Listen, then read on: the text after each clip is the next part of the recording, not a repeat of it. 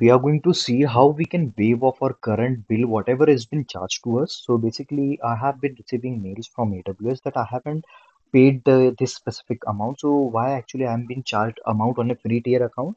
So the one of the reason here is like I have used uh, multiple service and I might have exhausted the daily quota.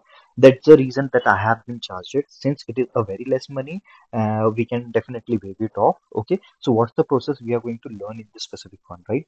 So uh, for that specific thing, what you need to do is you need to first log in with your uh, root user, right? Then you need to go to this specific question mark once you logged in. Okay.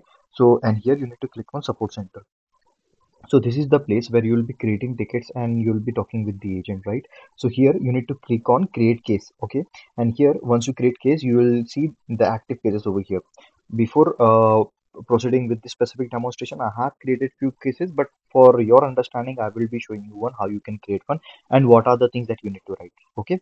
Now since this is an account and billing section we'll click accountant uh, we are going to select account and billing. Post that we are going to select billing into service and the subcategory would be dispute or charge because we want to waive off the service right?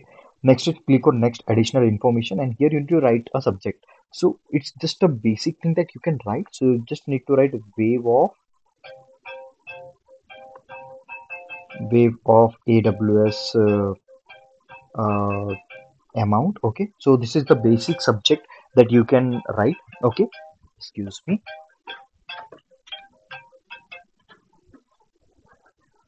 All right. So this is the basic uh, subject that you can write over here. And here, post that you need to write a description where you are just elaborating why you want to pay before, right? So basically, you just need to write that you are just a uh, student who was exploring the AWS services and you don't know how actually it uh, incur those charges, right? So that's the reason.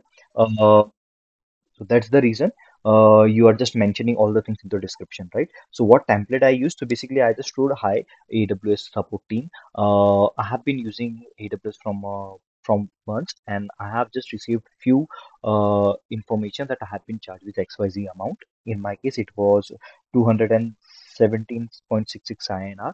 So that amount I wrote, and I would request you to kindly waive it off because I was just exploring and I don't know how did it charge me.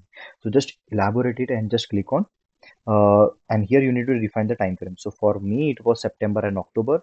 And once done i click on next to solve contact. Once done you can even opt out from this recommended field and click on next and contact us. Okay. So for now i'll just write hi and click on next okay i'll show you what template i used. I'm just going to see you the flow whatever thing that we can do. And here you need to click on contact us and click on web phone and chat. I tried all the three methods but the best one which you can go for is web and chat okay? And even you can go for uh, phone. Either if you select a web or phone you will definitely receive one call. And i received one call from joseph uh, where he actually helped me in uh, resolving the dispute. Let me say share you all the context that we have earlier so when i go to the support request you can uh, go you can see the active support requests which are currently there. So while i created the initial ticket in that thing that was actually assigned to joseph. And uh, what happened was he actually called me earlier and uh, I was occupied with some tasks, so I actually missed that call. So post that he again tried me. So what conversation we had? So basically we had a chat conversation over the console itself, and here we were actually demonstrating how actually things work, right? So let me just go to all, all the way to the bottom, and here uh, let me click on load more so you can see all the conversation which we had so as i mentioned earlier we actually defined uh, what was the description and the subject that i wrote for contacting joseph. So basically i just wrote that i am a student and i have been using this specific service for learning purpose. And could you please waive off my bill?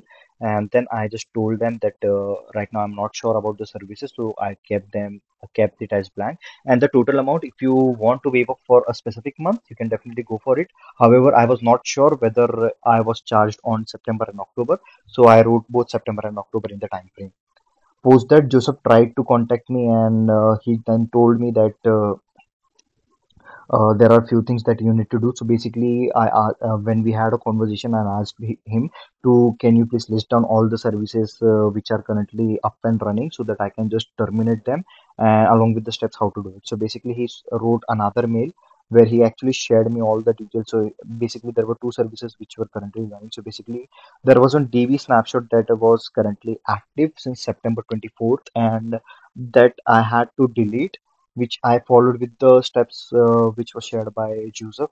Followed by there was a load balancer which was running. So there I deleted one uh, load balancer with the canonical name. So there are two methods which were shared. Either you can uh, delete it with the load balancer GUI or with CLI. So I followed the GUI method and deleted it, and then post that I just uh, gave gave an heads up to Joseph that I have deleted the load balancer and the DB snapshot as mentioned in the mail.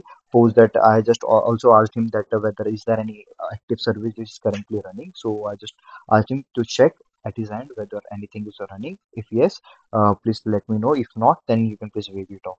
So then he just shared another mail. He confirmed that uh, uh, all the services are terminating and there you won't be charged any extra amount, right? So I and and then he confirmed he asked me three questions uh, regarding this documentation which he shared me so i just responded him on the same and that that was all the conversation we had so you also received the updates of that specific thing over the mail itself. Okay so this is how the mail you, uh, you will receive from aws uh, you won't be able to reply this on this specific one right? All the conversation you need to do is through this specific console itself right? So that is how you will be able to close the specific uh, uh, ticket take any action okay? So what method works best for you? So basically it depends. Uh, for me it was both web and phone and uh, it was uh, like and joseph did help me a lot in resolving the issue. So uh, shout out to joseph. And yeah. So that was all. Uh, like once the dispute is completed it will change the status accordingly. Initially it was in progress and now it is customer action completed. So because there was one action pending from me he was asking me for the confirmation and i did share the thing and that is how you close a ticket in aws console while chatting with the support and you can pay off your existing balances whatever are there in your aws account. Yeah that was all uh, see you in the next one